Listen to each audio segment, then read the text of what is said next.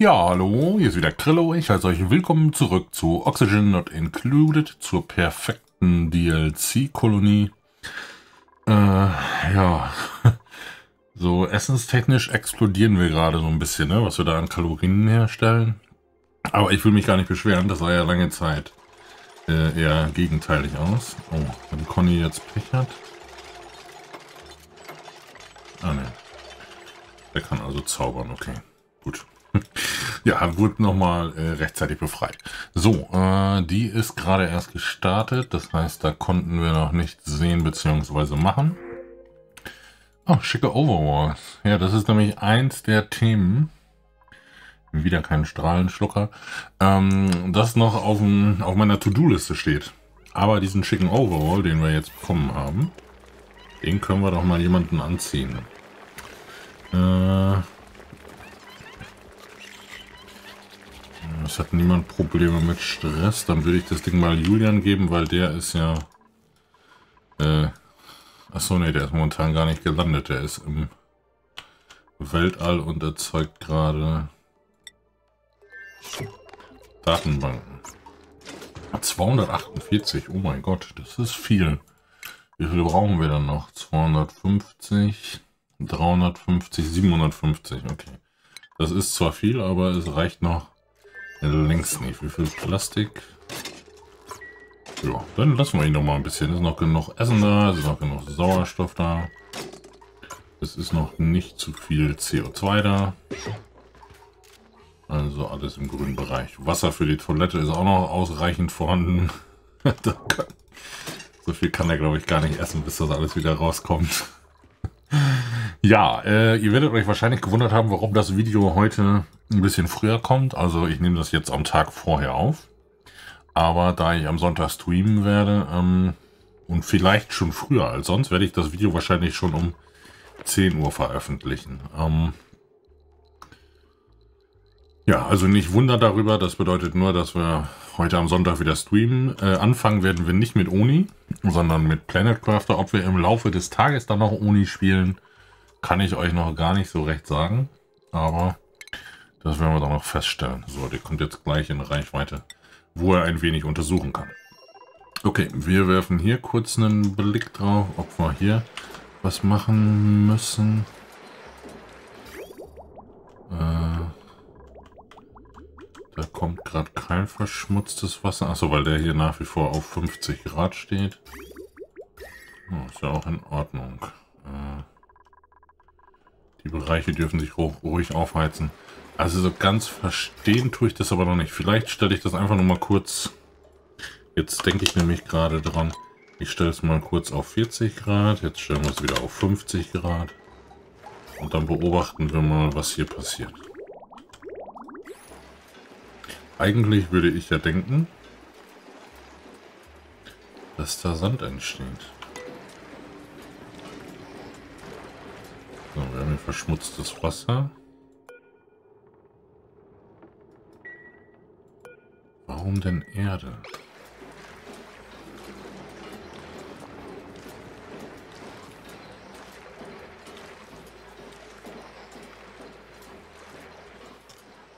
Bin ich denn jetzt total auf dem Holzweg?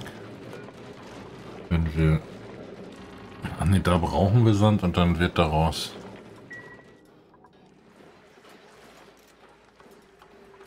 Okay, was wir natürlich machen können, wir könnten den, die Erde hier noch weiter erhitzen lassen auf über 326,9 Grad, dann würde daraus Sand werden. Das ist natürlich eine Methode, die wir machen können. Aber habe ich irgendwo hier einen Denkfehler? Schreibt mir gerne mal was dazu in die Kommentare, weil dass ich einen Denkfehler habe, bin ich mir fast sicher. Ich weiß nur noch nicht so recht, wo und an welcher Stelle. ja, äh, ansonsten lasse ich die hier mal gerade weiterarbeiten. Wobei, wir können jetzt auch hier mal die Reste aufwischen. Und jetzt kommen wir hierher. Also, wie schaut es hier aus? Da sind wir noch nicht so weit, wie ich das gedacht hätte. Okay. Und ich hätte jetzt vermutet, dass wenigstens das, äh, das Abreisen erledigt ist. So, da können wir noch den Rest machen. Was ist denn hier mit dem Rohöl? Äh, oh. Das hier stoppen wir natürlich.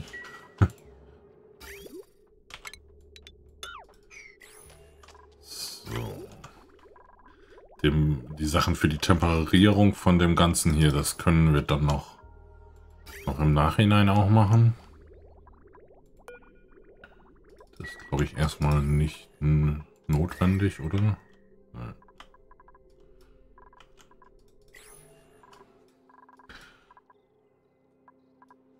So, dann wollte ich mal drauf schauen, was hier mit dem, oh, mit dem Wasser jetzt passiert. Es kommt hier mit Minusgraden an, aber so richtig viel aufheizen tut es auch nicht, ne?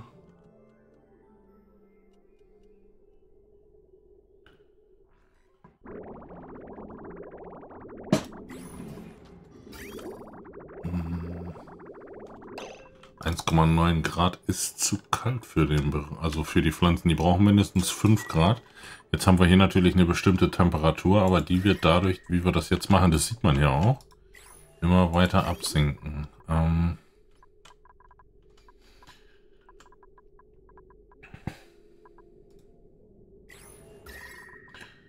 Wie kriegen wir das halbwegs gut organisiert? Ähm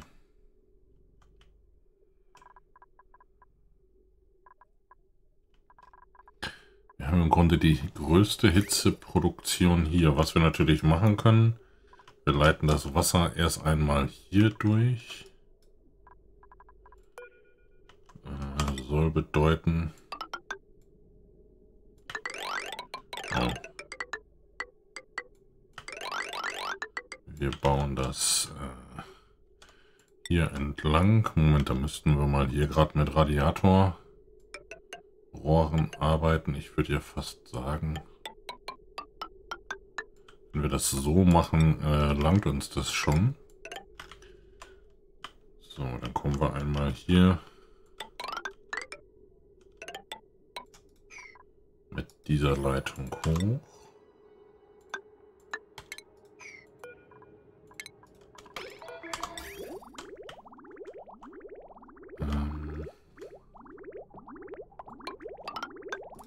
Ist das ein Problem, wenn ich die hier... Ne, ist es nicht.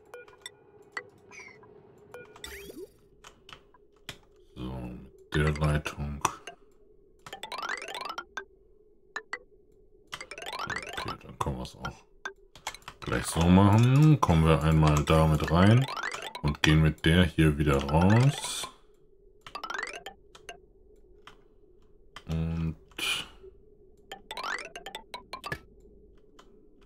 schließen das dann da an. Ja, es ist, glaube ich, einfacher, das hier zu ändern, als umgekehrt. ja, jetzt muss natürlich hier einmal äh, noch ein paar Sachen wieder trennen, die Verbindung.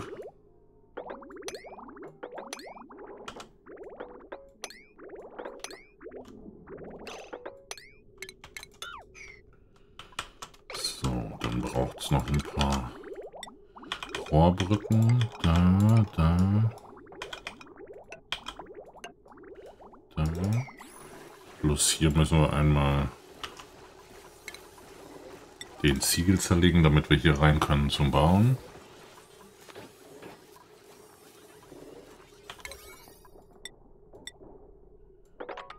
Das stellen wir auch mal auf hoher Prio, damit das schnell wieder fertig wird und wir da weiterarbeiten können. Und das hier verzögert sich dann natürlich wieder ein bisschen, ne? aber gut.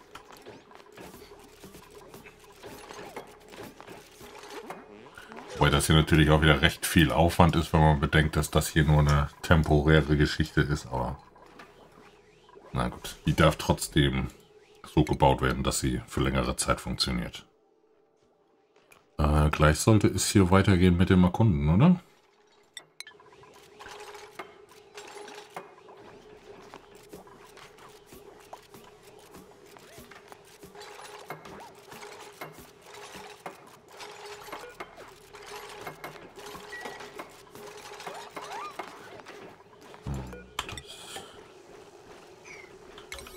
Hier alles. Das heißt, wir können den Ziegel wieder aufbauen.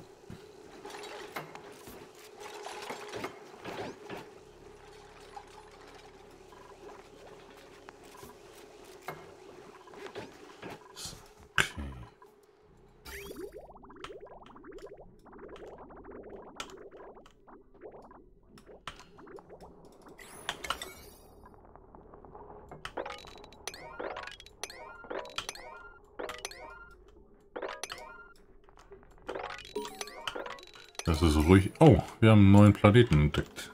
Das ist ruhig etwas, das jetzt schnell passieren darf. Äh, Gasola. Okay, das klingt nach vielen Gasen, wenn ich ehrlich bin. Äh, ein Chlorgasschlot, Weltraum... Ach, das ist der. Okay. Der für unsere Kühe.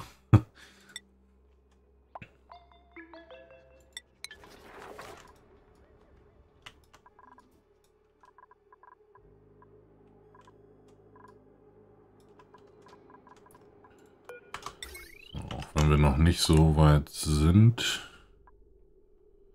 Ähm wir können ja hier trotzdem schon mal die nächsten Aufträge verteilen.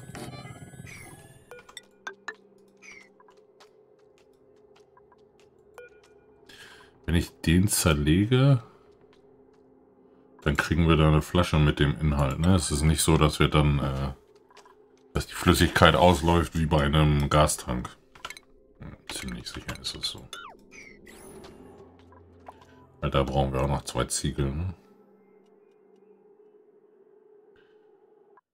Äh, was machen wir denn mit den Pakus? Die müssten wir hier ja auch mal rauslassen. Dann könnten die hier runterhüpfen und sich das hier in der Flüssigkeit bequem machen, oder?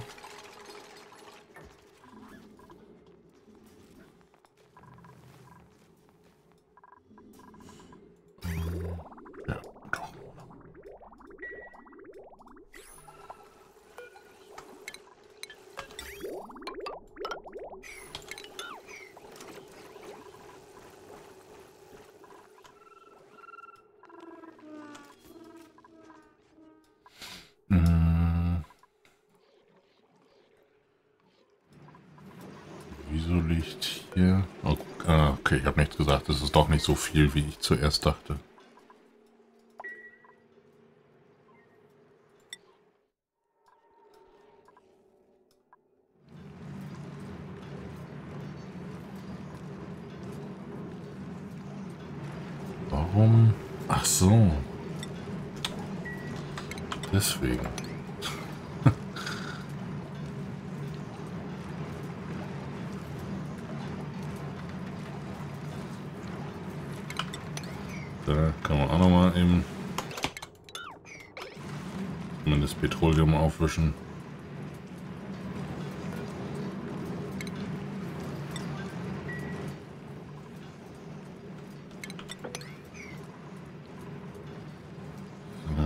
67 Grad, also so langsam sinkt hier die Temperatur ein bisschen. Ich werde jetzt nochmal das nächste Abyssalita ausbuddeln. Aber es ist schon erstaunlich, wie viel äh, Strom wir jetzt hier schon rausgezogen haben, oder? McPelle ist ziemlich verletzt. Wo hat er sich das denn geholt? Oh, wir haben hier oben noch Okay, da kommen wir ja nicht ran. Da kann er sich nicht verletzt haben.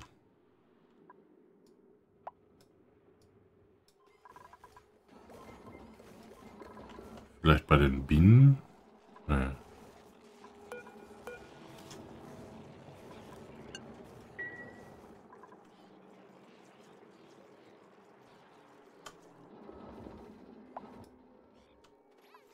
Oder hier? Hier wäre es natürlich schon mal eher möglich, ne?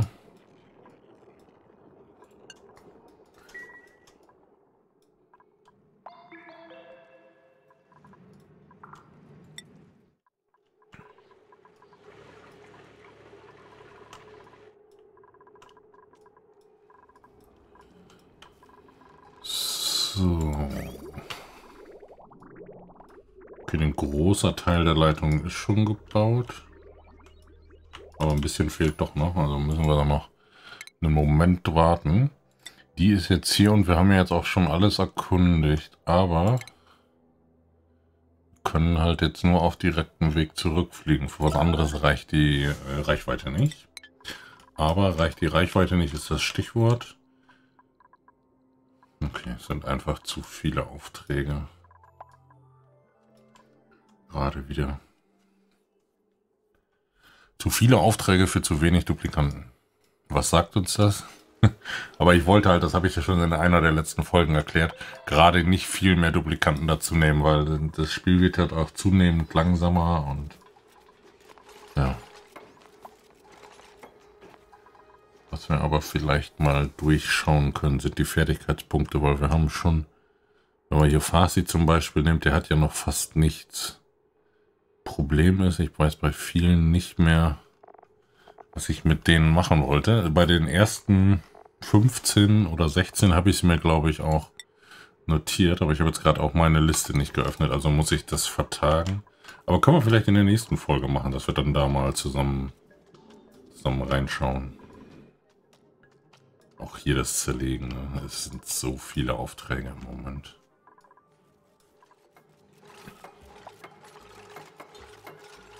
Muss wahrscheinlich äh, mehr in Bereich, mehr in die Richtung Automatisierung machen. So wie hier zum Beispiel mit unseren, äh ja, das können wir hier auch einmal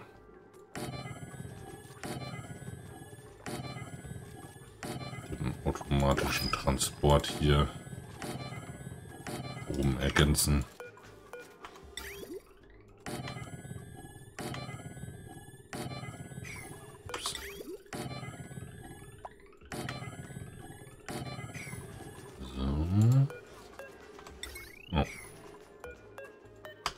Förderschiene.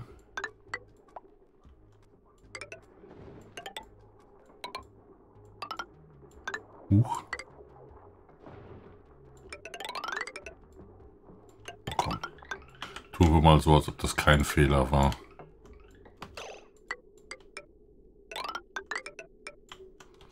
Machen das so. Können wir schon wieder wegnehmen. Und dann müssen wir hier nur noch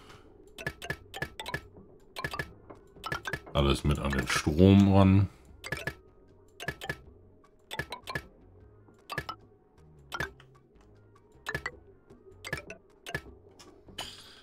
So.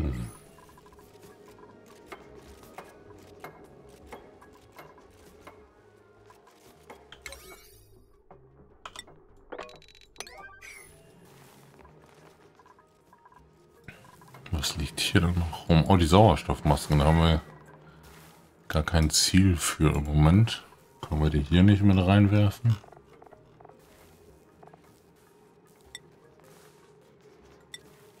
Doch, können wir.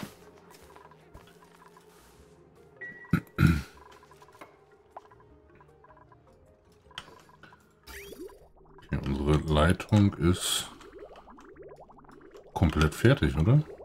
Da würde ich jetzt sagen, wir trennen es erstmal da ab dass die hier leer laufen kann. Dann können wir das schon mal verbinden, dass das jetzt dorthin fließt.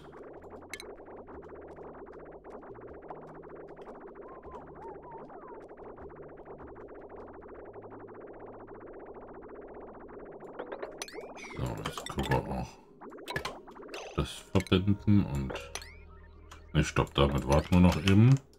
Damit nämlich auch die hier jetzt leer laufen kann und theoretisch können wir doch auch den auch gleich trennen. Dann kann nämlich hier wirklich das an beiden Seiten leer laufen. Das hier dürfen wir auch schon wieder anschließen. So, jetzt können wir da anschließen. Ne, können wir noch nicht. Weil die hier muss ja noch leer laufen. Interessant, dass die hier schon leer ist.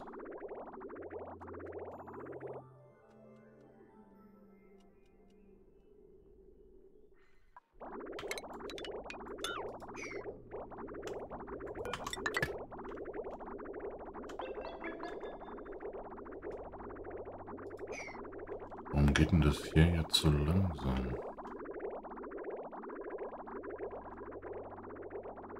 Ach so. Äh. Nee, trotzdem kommt es hier aus beiden Richtungen.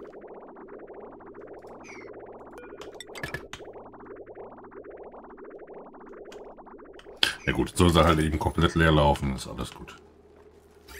Hier fließt es jetzt schon wieder dorthin. Was passiert? Ah, okay.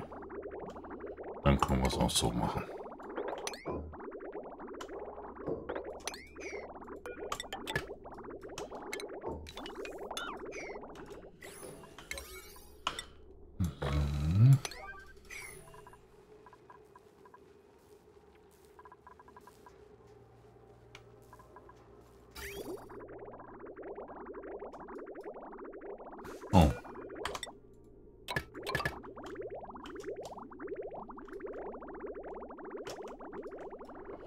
Jetzt fließt es wieder. So, das Wasser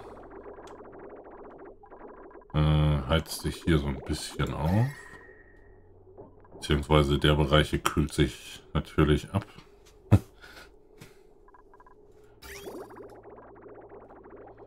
Man könnte sogar überlegen, äh, wo haben wir denn hier jetzt eigentlich noch Temperaturprobleme? Hier bei den Batterien, aber diese Batterien hier, die sind ja sowieso überflüssig. Das ist doch ein Kreislauf. Der da, genau, die sind hier überflüssig. Sprich, Batterien können hier weg. Und die Stromkabel. Ja, Moment. Die Hamsterräder kann ich ja vielleicht nochmal später benutzen. Um da das eine oder andere zu skillen. Aber ich wollte eigentlich gerade überlegen, ob ich nicht hier das Wasser dann nochmal wieder ein bisschen mehr aufheizt. Ist aber fast nicht notwendig, weil man sieht jetzt schon hier, dass da doch ein bisschen mehr Temperatur reinkommt. Das war nur gerade halt problematisch, weil das da so schnell durchgeflossen ist. Aber jetzt, wo es sich da zurückstaut, sollte das vielleicht funktionieren. Beobachten das einfach mal kurz. 7,9 Grad ist relativ stabil. Jetzt wird es sogar 8 Grad. Oh ne, da sinkt es jetzt wieder so ein bisschen.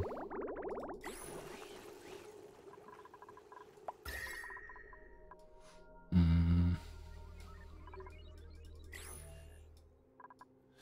Es muss keine Dauerlösung sein. Wir können auch dann, wenn es da Probleme äh, wieder nochmal geben sollte, immer noch einschreiten.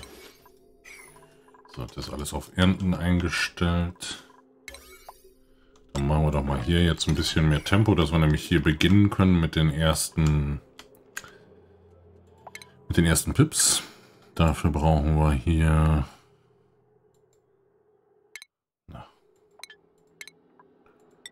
auf jeden Fall einen Lagerbehälter. Ne, Quatsch. Lagerbehälter nicht. Wir brauchen einen Kühlschrank, ne? Für die Pinscher Pfeffernüsse. Türen hier kann man im Grunde auch rausnehmen. Ne? Die braucht jetzt da auch niemand mehr.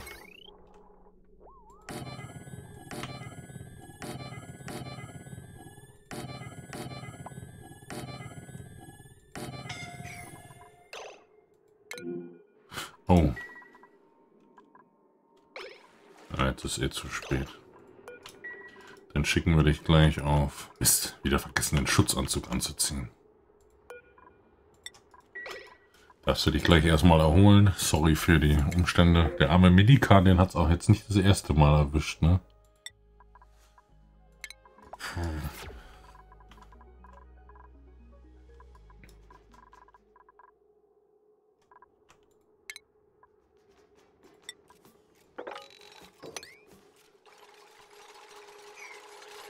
So, Kühlschrank brauchen wir.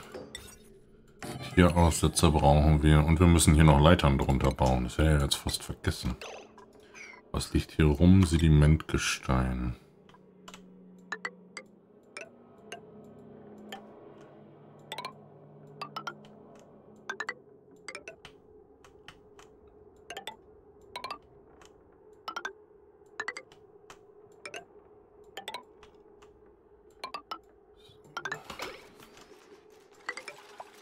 Dann müssen wir eigentlich nicht in der Pause sein. Das Spiel läuft ja flüssig genug, trotz der vielen Sachen, die wir schon gebaut haben. Das kann weg und an der ersten Stelle muss auch keine Leiter hängen. So. Äh, hier können wir die Aufräumaufträge auch rausnehmen, ne? Weil damit können wir ja direkt Leitern bauen.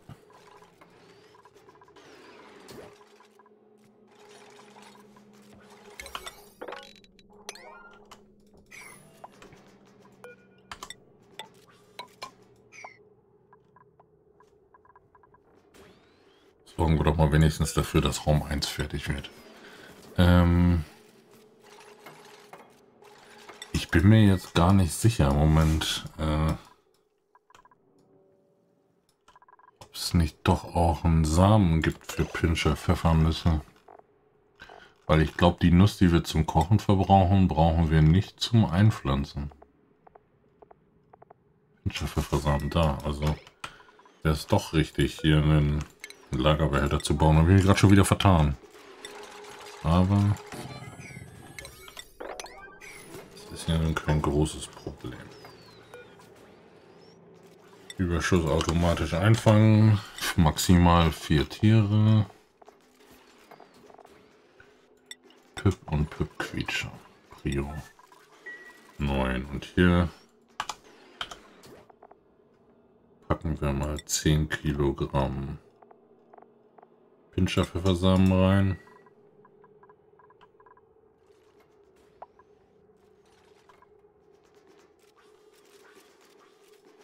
Um mal zu schauen, wie viel 10 Kilogramm sind. Äh, nur natürlich irgendwo Pips einfangen, am besten wilde. Eingeengt, überfüllt, mürrisch. Das sind genau die, die wir wollen.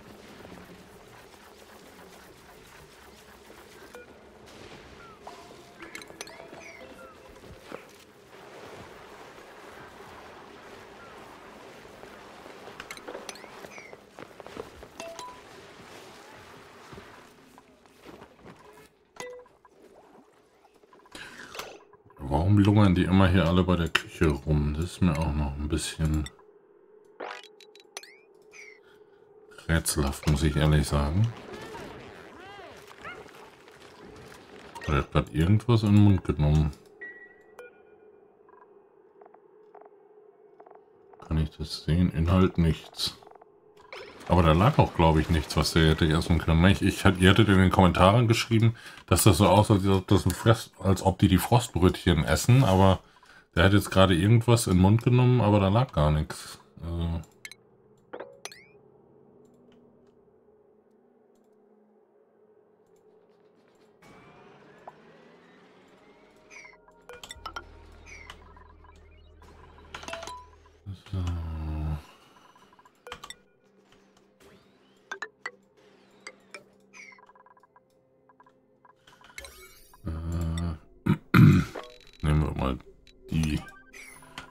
jetzt alle ran. Das Teil noch auf Prio 9. Haben wir nicht irgendwo hier einen Lagerbehälter, wo auch ganz viele Samen haben herbringen lassen? Oder ist das inzwischen schon wieder Geschichte?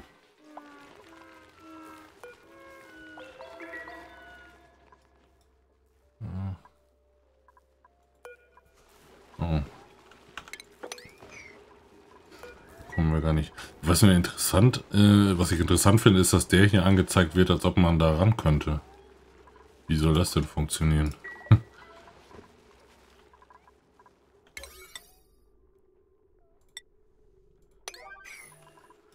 so, Minikan ist wieder fertig. Dann schauen wir uns einmal die Rakete an. Reichweite ist 10 Felder, das passt. Essen ist voll. Tabletten sind voll, Oxylid ist da. Auf geht's, oder? Äh, diesmal würde ich dann nach dort fliegen.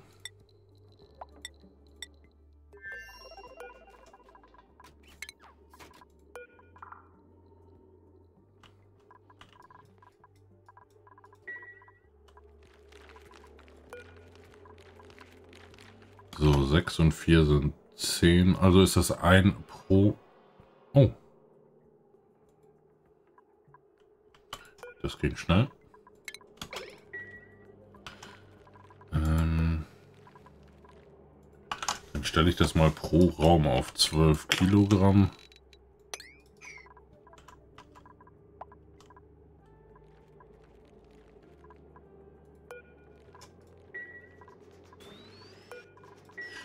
Hier die ersten gleich haben, dann können wir auch die nächsten Räume weitermachen. Äh, aber wie gesagt, das werde ich nicht, auch wenn ich jetzt damit kurz angefangen bin, äh, werde ich das nicht innerhalb eines Videos weiter fortsetzen. Sondern äh, das Fertigbauen werde ich dann wieder außerhalb der Aufnahme machen. So, können das fortsetzen. Die Reihe haben wir. Den ersten kann ich da freilassen.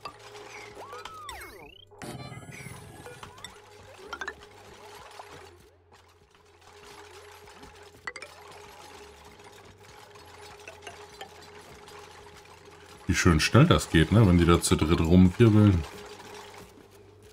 Ja, jetzt wird es ein bisschen langsamer, weil die auch zwischendurch Ziegel bauen müssen.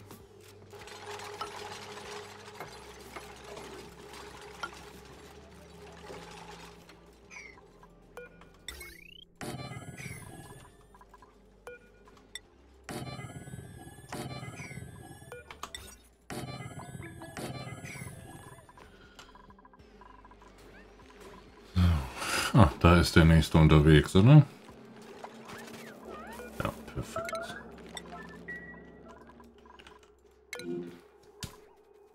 Wieso verhungert ihr wahrscheinlich auf dem Weg zur Toilette, oder? Ja. Kann nämlich eigentlich nicht mehr sein. Boah, wir haben eine Million Bärenmatsch, 300.000 Pfefferbrot, 69.000 Frostbrötchen. Ähm, ich würde wahrscheinlich jetzt auch Knorpelbeere hier mal rausnehmen. Das hier wirklich Frostbrötchen. Oh, jetzt ist er auch mal massiv gesunken, die Anzahl der Graupelweizen Aber das finde ich ja gut. Das war ja äh, nicht mehr normal, was da 1800 oder 1900 hatten wir in der Spitze, glaube ich.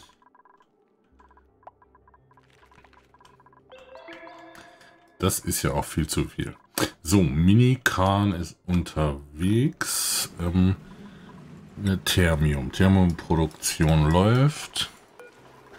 Da läuft die Wolframid-Geschichte. Da müssen wir überlegen, ob wir... Also stelle ich schon mal wieder auf 99 hoch. Wir haben ja hier noch recht viel. So, müssen wir ein bisschen Thermium wiederum zu Niob machen, damit wir noch mehr Thermium wiederherstellen können. Für diejenigen, die das jetzt erstmal äh, unlogisch klingt, was ich da gerade rede, um 100 Kilogramm Thermium herzustellen, brauchen wir 5 Kilogramm Niob und 95 Kilogramm Wolfram. Das knappere Gut bei uns ist eigentlich immer Niob. Ähm, jetzt kommt dafür ein tolles Rezept nämlich rein. Wir können nämlich hier aus Thermium wieder Niob machen. Und dann machen wir aus 100 Kilogramm Thermium 100 Kilogramm Niob. Das heißt, wenn man zu Beginn einmal 5 Kilogramm Niob hat, kann man quasi, solange man Wolfram hat, oder Wolframid, äh, ja, so viel Thermium dann, also Niob und Thermium herstellen, wie man, wie man möchte. Also das ist eine, eine ganz gute Geschichte für diejenigen, die das nicht wussten, dass ähm, die Ressource, die dann oft das Knappe ist, ist Wolframid bzw. Wolfram, wobei wir davon hier auch recht viel haben, so dass ich eigentlich fast sagen will, stellen wir das, das hier auch nochmal hoch. Die anderen Sachen hier können wir leider noch nicht herstellen. Da müssen wir mal schauen, wo wir da Sachen vielleicht für abbauen könnten. Äh, machen wir das doch vielleicht mal direkt, ob irgendwo schon es eine Quelle dafür gibt, aber da sieht es noch nicht nach aus. Ne, bislang tatsächlich noch nicht. Okay. So, ähm, ja, ich werde jetzt auch mal hier ein bisschen beschleunigen, dass wir da mal weiterkommen. Beziehungsweise das hier bauen wir gleich bis oben. Fertig. Ja. Das hier war die Rakete, mit der Conny Ja, mit der war Conny hierher geflogen. Ich überlege halt, ob ich mir noch mehr Obsidian abhole, weil das ist schon ein Stück weit knapp. Und wir könnten hier den Rest holen.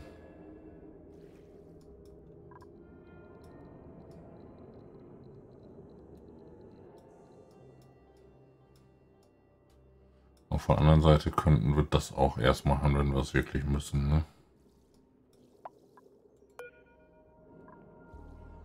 Das hier wird übrigens spannend, ne? weil wenn man sich mal anschaut, ein Job braucht 3206 oder hat äh, eine Temperatur von 3226,9 Grad, wo es da rauskommt. Äh, selbst Obsidian schmilzt bei 2726,9. Also da bin ich noch nicht so richtig schlau, was wir da machen können, was hält. Was hat ein Thermium für Temperatur? Auch würde auch schmelzen. Also, was natürlich unser Vorteil so ein bisschen... Moment, eine Sache fällt mir gerade noch ein. Diamant. Wo haben wir? Hier wahrscheinlich, ne? Ja, Diamant. Was hat denn das für eine Schmelztemperatur? Okay, Diamant. Wärmetauschplatten würde funktionieren. Da müssten wir ja hergehen, hier eine Wärmetauschplatte machen und Dampf in den Raum. Viel Dampf. Das wird spannend, da freue ich mich drauf. Aber das ist schon mal äh, ein Ansatz, wie man es machen kann. So, wo waren wir hier? Okay, das setzen wir jetzt langsam fort. Ich packe da auch schon mal die Einstellungen für Pips rein. Da können Samen noch rein, dann könnten wir sie nämlich gleich fallen lassen, weil die lassen die, hol die sowieso immer raus, die Pips, das heißt, die können da eh nicht drin bleiben.